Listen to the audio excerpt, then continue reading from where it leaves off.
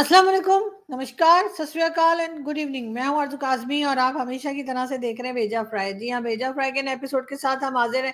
और इससे पहले कि हम चलें अपनी न्यूज़ की तरफ़, आप सबसे रिक्वेस्ट है कि जिस जिसने भी चैनल को सब्सक्राइब नहीं किया है प्लीज़ चैनल को सब्सक्राइब करना ना भूलिएगा। साथ साथ बेल आइकॉन को भी क्लिक कर देंगे तो जी, जैसे ही कोई नई वीडियो आएगी, आपको फ़ौरन ही नोटिफिकेशन भी मिल जाएगा।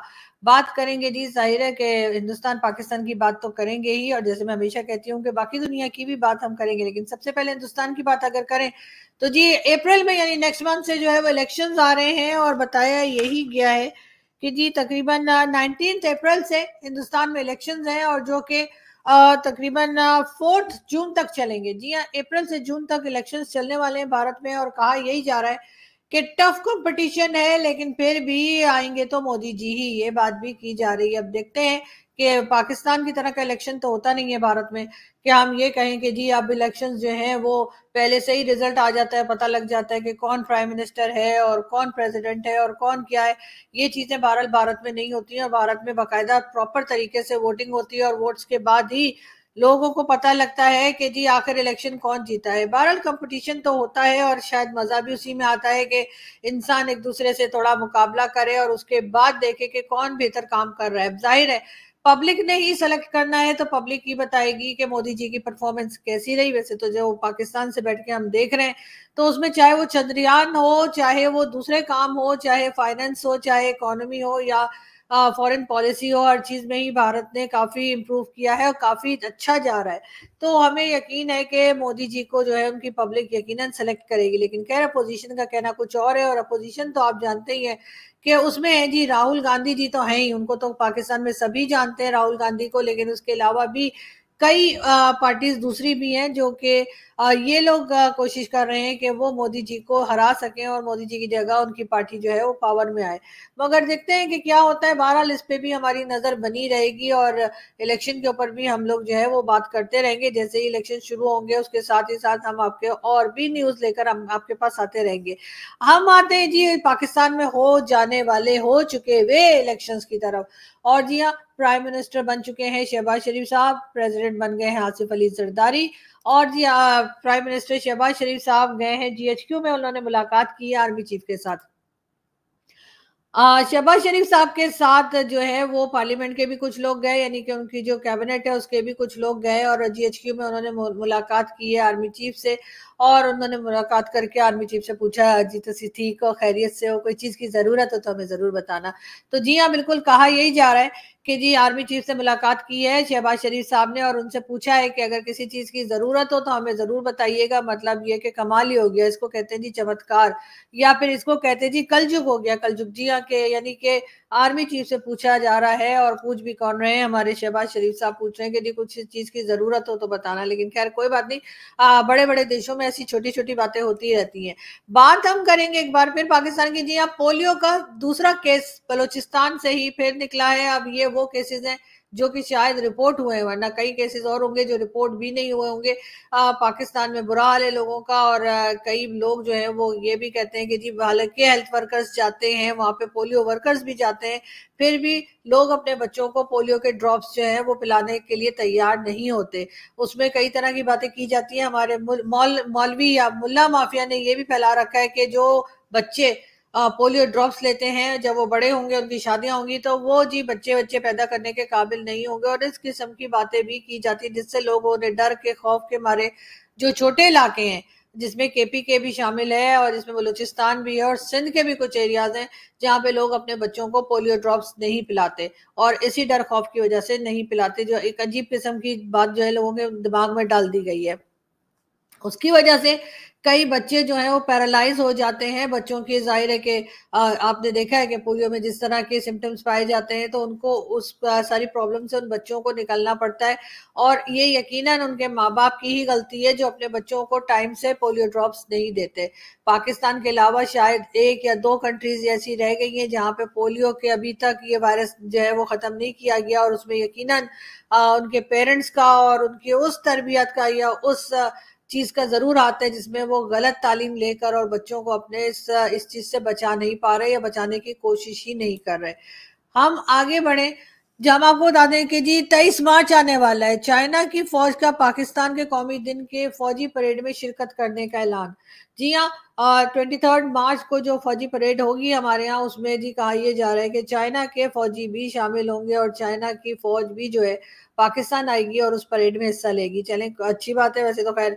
पाकिस्तान में जब इस किस्म की कोई इवेंट आता है तो कई कंट्रीज़ की तरफ़ से लोग आते हैं। हमें ख्याल हर कंट्री में ही शायद आते होंगे, लेकिन बहरहाल चाइना की फौज इस बार पाकिस्तान आएगी और ट्वेंटी मार्च में हिस्सा लेगी। हम बात करेंगे एक बार फिर पीटीआई की। पीटीआई की यासमीन राशिद और सनम जावेद को सेनेट का इलेक्शन लड़वाने की तैयारी की जा रही है, यानी कि दोनों सेनेट के इलेक्शन में हिस्सा लेंगी। अब ये हिस्सा ले तो लेंगी, लेकिन उसके बाद जीतती है या नहीं, खैर ये तो वक्त ही बताएगा। खैर, यासमीन राशिद साहबा तो पहले भी पॉलिटिशियन रही है और काफ़ी मशहूर हैं और जेल भी जा चुकी हैं खान साहब के साथ। खैर, जेल तो सनम जावेद भी गई हैं, लेकिन खैर, Sanam Javed as a politician इतनी फ़ेमस नहीं है जितना कि वो इमरान खान के सपोर्ट में और इमरान खान के लिए नारे वारे लगाते हुए उसके बाद नाइन्थ मे को जो कुछ हुआ था, उसमें उनको अरेस्ट किया गया था। अब खैर, वो बाहर आ चुकी हैं, लेकिन कहा यही जा रहा है कि सेनेट इलेक्शन के लिए पीटीआई की तरफ़ से उनको रखा गया है। अब देखते हैं कि दोनों जीत पाती हैं या नहीं। पाकिस्तान में, जैसे मैंने आपको बताया कि पोलियो का दूसरा केस जो है वो भी रिपोर्ट हो चुका है। उसके साथ साथ हम आपको ये भी बताते चलें कि बच्चन साहब की जरा बात कर लेते हैं। जी हाँ अमिताभ बच्चन साहब को कौन नहीं जानता। आ, हमारे इलाके के हैं। जी हाँ इलाहाबाद के यानी कि प्रयागराज के भी। जी बिल्कुल। तो जी बच्चन साहब हॉस्पिटलाइज थे। अब घर शिफ्ट कर दिया गया है। बताया ये गया है कि उनकी एजियोग्राफी की गई है और अब उनकी तबीयत काफ़ी बेहतर है और अब वो पहले से बेटर फील कर रहे हैं इसीलिए उनको घर पे शिफ्ट कर दिया गया हमारी तरफ़ से बहुत सारी दुआएँ और बेस्ट विशेष बच्चन साहब के लिए। हमारे तो बहुत ही फेवरेट हैं। तो हम उम्मीद करते हैं कि जल्दी उनकी तबीयत जो है वो और मजीद बेहतर हो जाएगी। बात करेंगे एक बार फिर आ, पाकिस्तान की और सऊदी अरब की। जी हाँ अब जी सऊदी अरब ने की तरफ़ से सलमान मोहम्मद बिन सलमान जो है एमबीएस ने जो है वो कांटेक्ट किया है टेलीफोन किया है जी। बिल्कुल, शहबाज शरीफ साहब को और उनको दावत दी है कि वो सऊदी अरब का विज़िट करें। जी हाँ और उम्मीद है कि जाकर जो है वो ये नहीं कहेंगे कि जी आपको तो पता है कि मेरे मांगने की आदत नहीं, लेकिन मैं मांगने नहीं आया हूँ। इस किस्म की कोई बात जो है वो शहबाज शरीफ साहब नहीं करेंगे। लेकिन बहरहाल, शहबाज शरीफ साहब को बुलाया गया है। और दावत दी गई है एमबीएस की तरफ़ से सऊदी अरब आने की। पाकिस्तान में इकोनॉमी का तो बुरा हाल है, आप सब जानते ही आईएमएफ की तरफ़ से भी डेलीगेशन आया है और एक बार फिर यही कहा जा रहा है कि काफ़ी स्ट्रिक्ट किस्म की कंडीशंस है आईएमएफ की जो पाकिस्तान को पूरी करनी होंगी, वरना पैसे नहीं मिलेंगे। और पाकिस्तान में एटीएम्स का ये हाल है। ये मशीन आप देख सकते हैं एटीएम मशीन जो है, उसका हाल आप देख ही रहे हैं कि क्या है। लेकिन बहरहाल, ये भी पाकिस्तान में ही होता है और इस तरह के ताले लगा के एटीएम मशीन जो है, आपको शायद सिर्फ़ पाकिस्तान में ही मिलेगी, दुनिया के किसी और कंट्री में आपको ये सहूलत नहीं मिलेगी। बात हम करेंगे एक बार फिर पाकिस्तान की, बांग्लादेश और भारत की। जी हाँ जो इंटरनेशनल पॉवर्टी इंडेक्स आया उसमें जो भारत का नंबर है, वो जी 63 बताया जा रहा है, बांग्लादेश 62 पर है और पाकिस्तान 52 पर है। जी हाँ यानी कि पाकिस्तान की हालत जो है, उस वक्त बांग्लादेश से भी खराब है। लेकिन खैर, मानने को कोई तैयार नहीं है, लेकिन ये ज़रूर है कि आप इसको, ये जटला भी नहीं सकते, इसको रिजेक्ट भी नहीं किया जा सकता कि पाकिस्तान की ये हालत है। इकोनॉमी जी काफ़ी खराब है और पॉलिटिशियन जो है, वो अपने, अपनी नखरों में, अपने अपने जो उनको आके एज अ पॉलिटिशियन या एज अ मिनिस्टर अपने फ़ायदे उठाने होते हैं, उसमें लग गए जी हाँ कोई हेलीकॉप्टर इस्तेमाल कर रहा है तो कभी कहा जा रहा है कि जी, तीन करोड़ के टायर जो है, गाड़ी के, वो चेंज करवाए जाए। और इस वक्त किसी को कुछ ख्याल नहीं आ रहा वरना पहले जब इमरान खान साहब हेलीकॉप्टर में फिरा करते थे तो यही पीएमएलएन थी और यही पीपल्स पार्टी थी जो बहुत शोर मचाती थी और बड़ा अफसोस करते थे कि जी एक गरीब कंट्री जिसके पास खाने को नहीं है, वहाँ पे मिनिस्टर्स जो हैं वो हेलीकॉप्टर में घूम रहे हैं। अब इस वक्त भी मिनिस्टर हेलीकॉप्टर में घूम रहे हैं। जी हाँ मरियम नवाज़ जो कि चीफ मिनिस्टर है, वो अब हेलीकॉप्टर इस्तेमाल कर रही हैं और साथ ही उनकी गाड़ी के भी तकरीबन तीन करोड़ के टायर जो हैं वो चेंज करवाने की बात की जा रही है। और खैर वो तो हो ही जाएँगे, लेकिन बहरहाल देखते हैं कि इसमें कहाँ तक, ये लोग जो दावा करते हैं कि जी हम फजूल खर्ची नहीं करेंगे, जी हम शोषा नहीं करेंगे, जी हम जो है वो दिखावा नहीं करेंगे शो ऑफ़ नहीं करेंगे सब चीज़ों से कब ये लोग निकल पाते हैं? बात करेंगे वजीरिस्तान की। जी हाँ वजीरिस्तान में जो टेरर अटैक हुआ है, उसमें जी तकरीबन सात फौजी हलाक हुए यानी सात फौजियों की जाने गई हैं। और अब यह आप लोग जानते ही हैं कि वजीरिस्तान में नॉर्थ वजीरिस्तान में हमारे इस किस्म के अटैक्स जो हैं, वो चल रहे हैं टेररिस्ट और साथ यहाँ पे जो फोर्सेज हैं पाकिस्तान की तरफ़ से, वो उनको रोकने की कोशिश कर रही हैं। लेकिन अक्सर ये होता है कि हम यही देखते हैं कि हमारे साइड पे भी लोगों का नुकसान ही होता है और इनको प्रॉपर तरीके से रोक नहीं पा रहे। अब रोक नहीं पा रहे या रोकना नहीं चाह रहे, ये दो अलग अलग क्वेश्चन है जो लोग करते रहते हैं। बहुत से लोगों का ख्याल ये भी है कि शायद पाकिस्तान की तरफ़ से रोकने की कोशिश ज़्यादा नहीं की जा रही। उसके बजाय ये हंगामा होने देते हैं क्योंकि वहाँ पे तरह तरह के आप लोगों से पहले भी बात हुई थी कि वहाँ पर जो लोग रहते हैं, उनके वहाँ पर अखरोट के और कई दूसरी तरह के जो ड्राई फ्रूट होते हैं, उसके बाग हैं और उसके ऊपर जो है वो भाई लोग का कब्जा बताया जाता है, ठीक है? भाई लोग का कब्जा बताया जाता है और कहा यह जाता है कि जी ऐसी वजह से हंगामे को खत्म नहीं होने देते कि जिनकी जमीनें हैं उन लोगों को कहीं दूर भेज दिया है कि जी, यहाँ पे तो बड़ा हंगामा है तो आपकी जमीनों को आप देखभाल नहीं कर सकते। हम कर रहे हैं तो हम जब कर रहे हैं तो ज़ाहिर है पैसा भी हम ही ले रहे हैं। मगर खैर वो एक अलग टॉपिक है और मैं पहले भी कर चुकी हूँ। आई डोंट नो आप लोगों ने देखा है या नहीं देखा लेकिन खैर मैं उसको फिर दोबारा करूँगी और सिर्फ़ सोलो इसी के ऊपर बनाऊँगी कि मैं आपको बताऊँगी कि वहाँ पे नॉर्थ वजीरिस्तान में हालत क्या है और क्यों है। ये ये वजह भी एक होनी चाहिए, ये बात भी एक होनी चाहिए कि आखिर ये हालत क्यों है।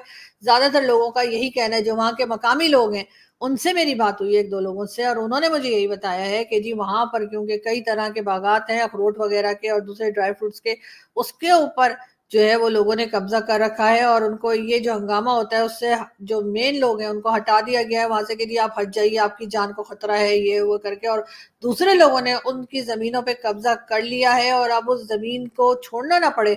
इस वजह से वहाँ पे इस किस्म के अटैक्स और ये सब कुछ हर कुछ दिन के बाद चलते रहते हैं और उसको ज़्यादा सही तरीके से रोकने की कोशिश नहीं की जाती। इसलिए कि अगर वहाँ पर अमन हो गया और वहाँ पे ये टैक्स बंद हो गए तो फिर वो जमीनें जिसके ऊपर कब्जा कर रखा है, वो वापस करनी पड़ेंगी और वहाँ के मकामी लोग जो हैं वो वापस आ जाएँगे। बहरहाल, ये एक नैरेटिव है, ये एक बात है या ये एक कह लीजिए कि सीरियस किस्म की स्टोरी है जो कि वहाँ के लोकल्स ने मुझे बताई है। और मैं यकीनन इसके ऊपर, खैर, एक शो मैंने पहले भी किया था, लेकिन मैं दोबारा इसके ऊपर डिटेल से आप लोगों के साथ बात करूँगी। हम बढ़ते हैं आगे। यहाँ पर भी जी आपको नज़र आ रहे होंगे, आर्मी चीफ दिखाई दे रहे हैं साथ साथ आपको दिखाई दे रहे हैं हमारे जी हाँ प्राइम मिनिस्टर साहब। वज़ीर अजम शबाज शरीफ का, वजरा के हमरा, यानी मिनिस्टर्स के हमरा जी एच क्यू का विज़िट किया उन्होंने। हुकूमत मसल्ला अफवाज के ऑप्शनल तैयारी को यकीनी बनाने के लिए तमाम वसाइल फराहम करेगी। जी हाँ वही बात जो मैंने आपसे पहले कही थी कि शहबाज शरीफ साहब की मुलाकात हुई है आर्मी चीफ से जीएचक्यू में और उन्होंने यही कहा है कि जी, हम हर तरह की फैसिलिटीज़ जो है वो प्रोवाइड करेंगे फौज को। ज़ाहिर है वो तो खैर घर गवर्नमेंट का काम होता है और शहबाज शरीफ साहब ने बहरहाल शहबाज शरीफ साहब ऐसे ही बहुत क्लोज समझे जाते हैं स्टैब्लिशमेंट के, वो खुल्लम खुल्ला कहते भी हैं कि हाँ जी मैं तो उनका ही बंदा हूँ और फिर ज़ाहिर उन्होंने जाकर ये बात की है। चले, खैर, देखते हैं आगे क्या होता है। वज़ीर अला पंजाब, मरियम नवाज़ एक दिन हेलीकॉप्टर से ऑफ़िस आई है। इसका खर्चा पचास रुपए फ़ी किलोमीटर से भी कम है। अब ये जी कहना है, पंजाब की इंफॉर्मेशन मिनिस्टर उजमा बुखारी साहिबा का कि जी पचास रुपए से भी कम किलोमीटर जो है, वो पर किलोमीटर हेलीकॉप्टर चलता है। मुझे नहीं पता कि मैं तो कभी हेलीकॉप्टर में बैठी नहीं, लेकिन ये ज़रूर है कि जो भी आता है चाहे वो इमरान खान हो चाहे वो नवाज़ शरीफ की फैमिली हो या फिर जरदारी साहब की हर एक यही बताता है कि जी हेलीकॉप्टर तो बहुत ही सस्ता है। मैं तो पूरे पाकिस्तान से रिक्वेस्ट करूँगी कि जी ट्रैफ़िक जैम बहुत ज़्यादा होता है। आप लोग जब निकलते हैं, सब अपनी गाड़ियाँ लेके कभी बच्चों को ड्रॉप करने के लिए तो कभी ऑफ़िस जाने के लिए और कभी अपने किसी और काम से, कभी शॉपिंग के लिए या कुछ भी, या दोस्तों से मिलने के लिए तो ट्रैफ़िक बहुत ज़्यादा मिलती है। रस्ते में हमें बहुत टाइम लग जाता है सारे पाकिस्तानियों को कहीं भी पहुँचना हो, किसी भी सिटी में आपने कहीं जाना हो तो कम से कम एक से डेढ़ से दो घंटे तो लग ही जाते हैं। तो ऐसा क्यों ना करें कि सब लोग अपनी गाड़ियाँ बेच के हेलीकॉप्टर खरीद लें? बिकॉज़ हेलीकॉप्टर की राइड जो है, मुझे लग रहा है बहुत सस्ती है। इमरान खान के लोग आए थे, वो भी यही कह रहे थे, पचास रुपए फ़ी किलोमीटर चल रही है और अब ये जो पीएमएलएन की आई हैं, उनका भी यही कहना है कि जी, कोई खास बात नहीं है अगर मरियम नवाज़ हेलीकॉप्टर से जाती है, क्योंकि हेलीकॉप्टर बहुत ही सस्ता है।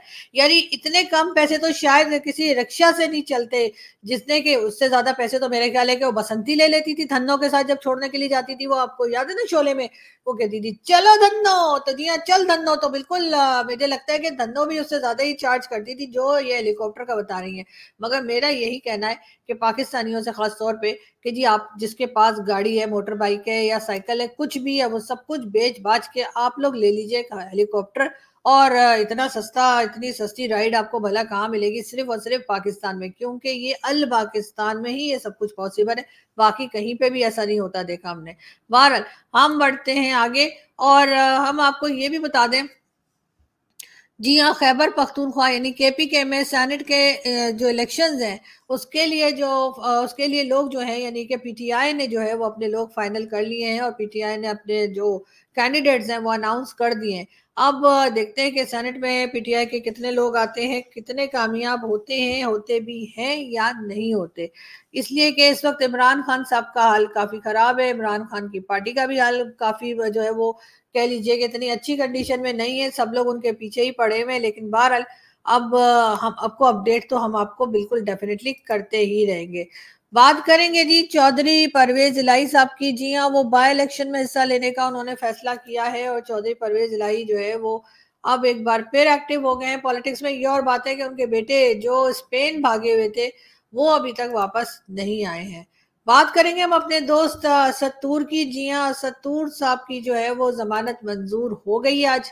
आज शुक्र से सत्तूर अपने घर पहुँच गए। उन कल उनकी मदर ने भी जो है, वो वीडियो पैगाम दिया था और उसमें उन्होंने जो चीफ जस्टिस है, उनसे रिक्वेस्ट की थी कि जी 16 दिन से उन्होंने अपने बेटे को नहीं देखा है, वो किस हाल में है, वो काफ़ी परेशान है। और उसके बाद जी, अब ये हुआ है कि 16 दिन के बाद जो है वह असद तूर, उनकी जमानत जो है वो मंजूर हो गई है और असद को आज रिहा कर दिया गया है। आई एम श्योर कि अब असद खैरियत से रहेंगे, अपने घर पे रहेंगे, अपने पेरेंट्स के पास रहेंगे, जो उनके लिए बहुत परेशान थे। दोस्त भी घर बहुत परेशान थे, उनके लिए दुआएँ भी कर रहे थे और उनकी हर पेशी के ऊपर जब भी अदालत उन्हें बुलाती थी तो उनके दोस्त भी वहाँ पर यकीनन पहुँचा करते थे, जो हम सोशल मीडिया पर देख रहे थे मतीउल्ला जान साहब और कई दूसरे लोग पहुँचे।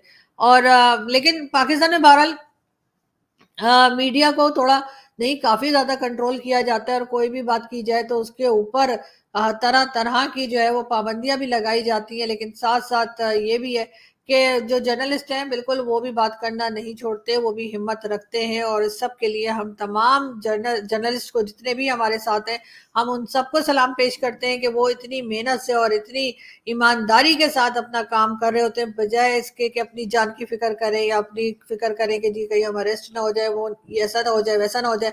उसके बजाय हमारे सारे ही दोस्त जो हैं, वो बहुत ईमानदारी से काम करते हैं और बहुत बहादुरी से काम करते हैं। तभी खैर इस तरह की चीज़ें भी कभी कभी फेस करनी पड़ जाती हैं। यहाँ से हम चलते हैं। आपसे मुलाकात होगी नेक्स्ट वीडियो में। अपना बहुत सारा ख्याल रखिएगा, हँसते रहिए, मुस्कुराते रहिए। हमारे चैनल को सब्सक्राइब करना ना भूलें। साथ साथ जैसे मैं हमेशा ही कहती हूँ जी, बेल आइकॉन को भी क्लिक कर देंगे तो बहुत अच्छा हो जाएगा। बोला मुझसे ज़्यादा जा रहा नहीं है। आज जी पांचवा रोजा है और आपको पता है रोज़े में सारा मतलब खाया पिया कुछ होता नहीं है। और बोलना भी बड़ा मुश्किल हो जाता है। तो इसलिए नेक्स्ट वीडियो जो बनेगी, वो अफ्तारी के बाद। जी हाँ पकौड़े खाने के बाद। आपको तो पता है, मैं पकौड़े बहुत शौक से खाती हूँ। तो जी हाँ जो नेक्स्ट वीडियो बनेगी, वो पकौड़े खाने के बाद बनेगी। तो फिर शायद मेरी आवाज़ जो है, वो अच्छी निकले। यहाँ से मैं चलती हूँ, हँसते रहिए, मुस्कुराते रहिए और अपना बहुत ख्याल रखिए। Thank you